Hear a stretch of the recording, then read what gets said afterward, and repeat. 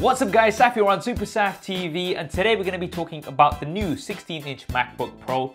I've been using this as my primary laptop for over a month now.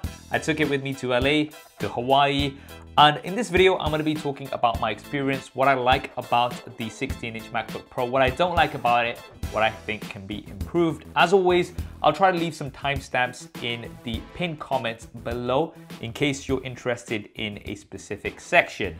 Let's get straight to it. Now initially let's talk about the build and design. It of course looks very similar to the previous generation MacBook Pro. Uh, we've got the metal build which is not necessarily a bad thing. Uh, this is a very very nice and iconic design. It's a design that a lot of other competitors have tried to copy as well but it's only available in the silver and the space gray. I really think that Apple should have gone with a new color, maybe a black, which would have made it stand out a little bit more compared to the previous generations as well, uh, especially considering that this does bring lots of improvements. So that kind of visual change, I think, is uh, something that they really missed out on. But nevertheless, it's a very good build and design. Uh, if you do want to customize the look of your MacBook Pro, you can always pick up a skin from our channel sponsor Dbrand. Uh, I quite like the metallic black right now, and I'll be leaving a link to them in the description below. Now bringing in the 15-inch MacBook Pro for a size comparison, you can see that the new MacBook Pro is larger, height, width, thickness, and it's also heavier. It's around 2 kg. Now, this is very unlike Apple. Apple usually try to make things smaller, thinner, lighter. This year, they've actually gone in the opposite direction, which is surprising, but it's such a welcome change. Finally, Apple are taking that feedback on board. We don't mind a slightly larger device if we're getting something in return in terms of features. And there's lots of things that we're getting with the new MacBook Pro, which we're gonna go through. Firstly, the larger size means that we've got a larger display. We've got a 16 inch display compared to the 15.4 inch display and the bezels are also smaller. Now, generally speaking, the larger size is not gonna be too much of a problem for most people. Uh, two kgs, I think, for a laptop of this size is not too bad.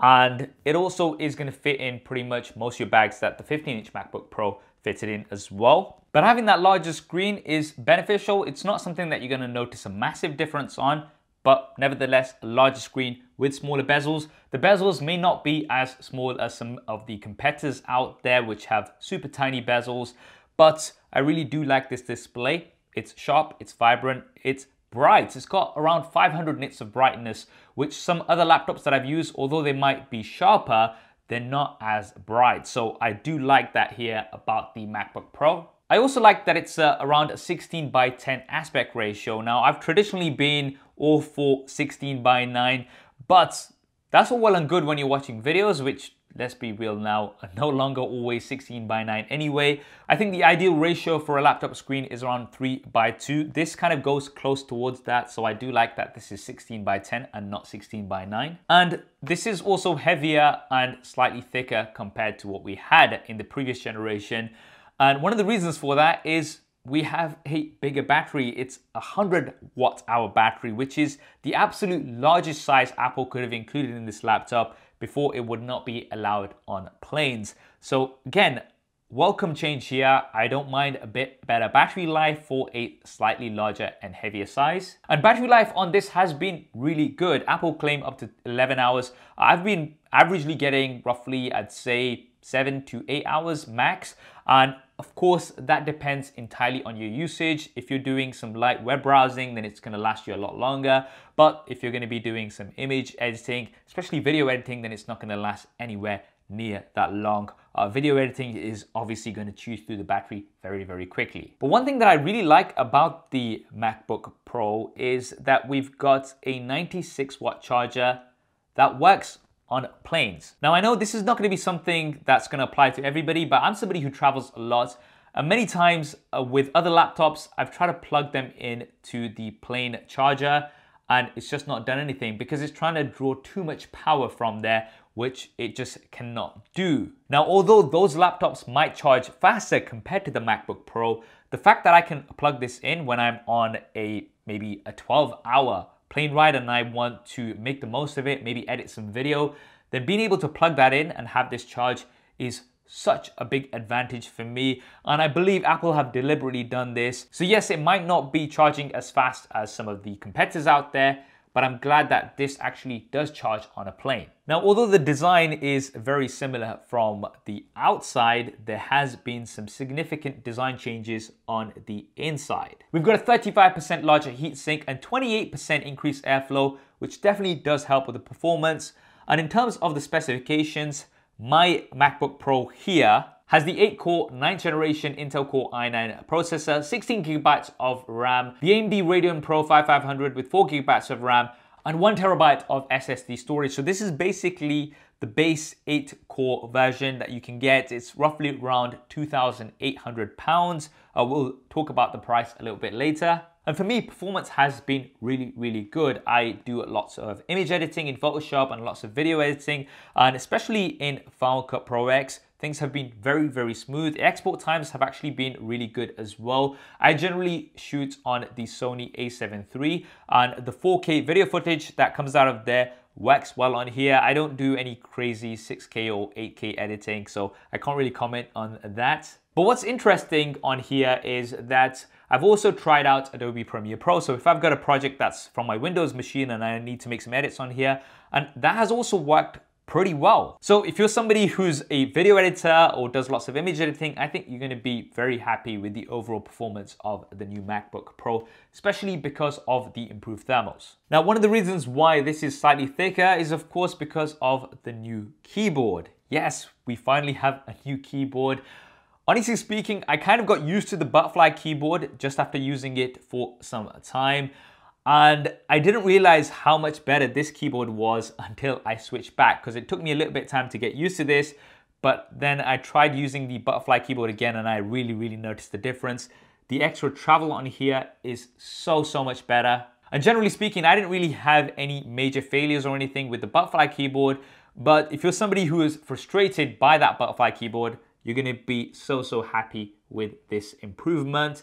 And I know, I know it's something that Apple should have done a very, very long time ago, but nevertheless, it's finally here. And this is a very, very good keyboard. We've also got some other changes such as the escape key, which is separate. I definitely like that, having that physical separate button rather than in the touch bar. We've also got the inverted arrow keys, which I know a lot of people will like. And it does stand out a little bit. It doesn't make things as uniform as Apple generally tries to do. But once again, Apple is kind of going away from things that will maybe look aesthetically pleasing to something more functional. The Touch ID button is separate too. It works well. And then we've got the touch bar. Now, touch bar, it's okay. Uh, I know a lot of people experience lots of crashes. I personally haven't experienced many. Uh, I do like it for things like scrubbing through video. Uh, it's quite nice to have that there. So overall, great improvements on the keyboard. And one of the things that I really like about MacBook Pros uh, coming from many other laptops is the trackpad. It's so, so big and it's so, so good. I, I'd say this is the best trackpad on any laptop out there right now. And let's talk about the ports. So as you guys probably already know, we have four Thunderbolt 3 USB-C ports, two on either side, and then we've got a 3.5mm jack, and that's it. Now, honestly speaking, I actually really like the fact that we've got four USB-C Thunderbolt 3 ports. Lots of other laptops that I've used generally only have the one, maybe, just maybe have two. This has four, which is very, very useful, especially if you've got a few things plugged in. So for instance, if I've got this plugged into a monitor, then this is also charging the laptop, but then I've still got three other ports available. So if I need to plug in an external hard drive or whatever else, I can do that. Uh, I'm somebody who's now kind of going away from USB-A, so I'm cool with having four USB-C ports.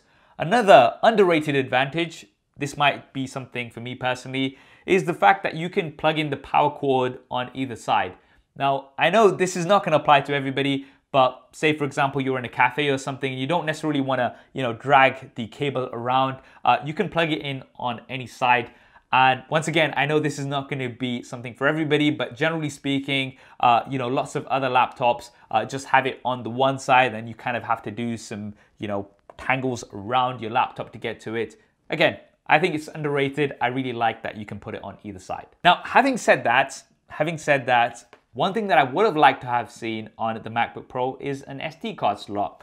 Now, I know not everybody uses an SD card slot, but considering this is a Pro machine, I'm assuming a lot of people who do lots of image and video editing, they're gonna have cameras which have SD cards, and then having to carry around a dongle is something that I wish I didn't have to do. I actually have to carry two dongles. I have to double dongle, believe it or not. And that's because my fear is that it's gonna be the middle of the night, I'm editing a video which needs to go live ASAP and I can't find a dongle and I can't go to a store because everything's closed. I can't find anybody that has a dongle and what am I gonna do now? Thankfully, because I carry two around with me at all times, I've not had this issue, but I know lots of friends that have had this issue. I just wish there was an SD card slot. I know Apple is trying to go for something a little bit more uniform and future proof, but for the foreseeable future anyway, I'd say for at least the next two, three, four years, people are still going to be using SD cards. And I wish that the MacBook Pro had an SD card slot. Now let's talk about the speakers. So we've actually got a six speaker setup and these speakers are the best speakers that I've had on any laptop. So as mentioned, I'm somebody who travels a lot and when I'm in a hotel room, I like to play some music and now I can do this on the MacBook Pro and it actually does a decent job of filling up the room with sound. Uh, if I need to do a quick edit and I don't want to go around finding my headphones, uh, I can again monitor the audio on these speakers. They're actually very, very good. And we've also got improved mics. We've got Apple Call Studio quality mics, and the mics are actually really good. I probably wouldn't record a voiceover or something on these mics, but nevertheless, they are very, very good. However, those really great mics accompanied with this not so great front facing 720p FaceTime camera. Like, seriously, Apple, you improve the mic so much, but you forget about the camera. Come on, like, I do some conference calls, maybe not every day, but a lot of the times I'm doing a, a video conference call and the quality on this is just not great. Right, so this is just a quick test on the 16 inch MacBook Pro so you can see the quality. Yeah. Uh, I wish that they improved it to 1080p. I mean, come on, Apple. On your iPhones, you have 4K 60 frames a second from the front facing camera. Your smartphones are some of the only ones that actually have 4K 60 from the front facing cameras, but you then go ahead and put a 720p camera in 2019 to one of your flagship laptops. Um, that's, I'd say, the biggest criticism that I've got here on the MacBook Pro, and I really hope that Apple are gonna change that going forward. As mentioned, it's not something that you're gonna be using every single day, but for the times that you do use it, you're like, really? This camera on this laptop? It just doesn't make any sense to me. Right, so that's most of what I wanted to cover. Now, who is this MacBook Pro for? Well, of course, if you're in the Apple ecosystem, you're gonna notice lots of benefits. I mean, one of the things that I really, really, really like is AirDrop. Uh, I can be shooting video and photos on my iPhone, and I can pretty much instantly transfer these over on to my MacBook Pro and edit them and things like that. And it's just so, so useful having that and how well that works together. I've also been testing out Sidecar not extensively. Sidecar is if you've got an iPad Pro, then you can extend the screen of your MacBook Pro onto there. And that is quite useful, especially considering that you can then use the Apple Pencil. So if I am out and about and I need to edit some images and I want that precision of the Apple Pencil, I can have Photoshop open on the MacBook Pro, but I can be controlling it on the iPad Pro, which is really, really cool. And if you're somebody who owns lots of different Apple products, then this of course is gonna fit in very, very nicely and it's gonna work seamlessly across those devices. And in particular, if you're somebody who is more of a pro user, shall we say, uh, somebody who does video editing, image editing, then I think you're really gonna like this MacBook Pro and you're gonna really appreciate the improvements that you've got in here. Of course, if you're on the Windows side of things, then you're gonna be saying that you can get something equivalent of this much cheaper, and that's fine. Uh, I know there's lots of great Windows options out there as well, but if you're after a Mac and you're somebody who likes the Mac operating system, then this is an amazing improvement and I think you're really, really gonna like it. If you're somebody who wants something smaller, then I would definitely wait until Apple releases maybe a 14 inch MacBook Pro. I mean, they have to, right? It's got to be done, uh, considering that uh, now that you've got the new 16 inch MacBook Pro in the lineup, and then you've got the 13 inch MacBook Pro, which has the old keyboard and all of the problems uh, that people have been complaining about, Apple have to. I mean, I'd say give it a few months and then they're going to release a new potentially 14 inch MacBook Pro. So I would definitely wait if you're after something smaller. But if you want something that's the best MacBook that you can buy right now, this is the one to go for.